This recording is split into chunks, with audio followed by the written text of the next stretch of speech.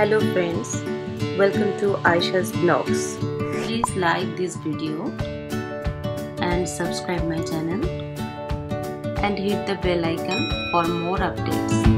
আজ আমি বানাবো রসগোল্লা তো আমি ছানাটা আগেই বানিয়ে নিয়েছি আর ছানা বানানোর রেসিপিটা আমার ডেসক্রিপশন বক্সে দেওয়া আছে আপনারা দেখে নেবেন এবার আমি ছানাটাকে খুব ভালোভাবে মেখে নিচ্ছি এভাবে হাতের মাধ্যমে প্রেশার দিয়ে ছানাটাকে ভালো মতো মেখে নিতে হবে।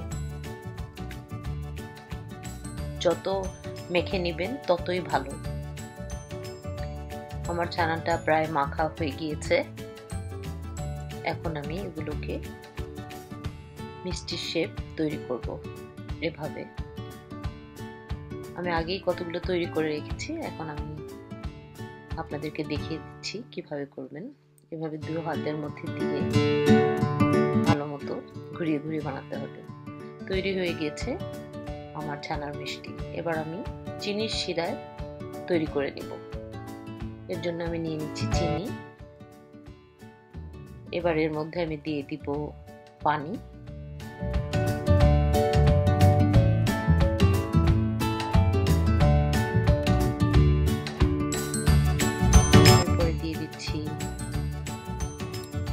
দুটো এলাচ দিয়ে আমি খুব ভালো করে ফুটিয়ে নিব। ফুটে গিয়েছে, এখন আমি একটা একটা করে মিষ্টি দিয়ে দিব। দিয়ে এভাবে চুলার আজ বাড়িয়ে মিষ্টিগুলোকে পাঁচ মিনিট মতো বয়েল করে নিব।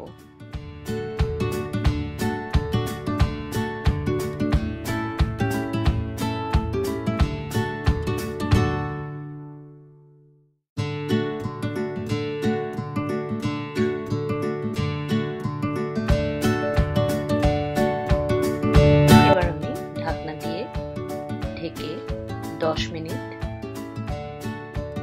ভালো মতো সেদ্ধ করে নিব মিষ্টিগুলোকে দশ মিনিট হয়ে গিয়েছে। মিষ্টিগুলো কি সুন্দর ফুলে উঠেছে, দেখতেই পাচ্ছেন। মোটামুটি মিষ্টিগুলো রেডি আমি আরও পাঁচ মিনিট ঢাকনা দিয়ে ঢেকে কম আছে মিষ্টিগুলোকে রান্না করব।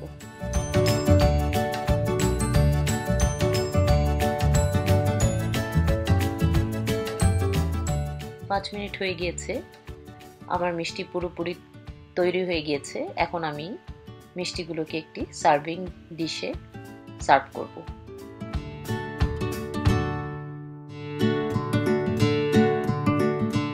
তৈরি হয়ে গিয়েছে আমার খুবই মজাদার রসগোল্লা। এটা খেতে ভীষণ মজা। আপনারা অবশ্যই বাসায় ট্রাই করবেন এবং আমাকে কমেন্টস করে জানাবেন। আপনাদের কেমন লাগল রেসিপিটি?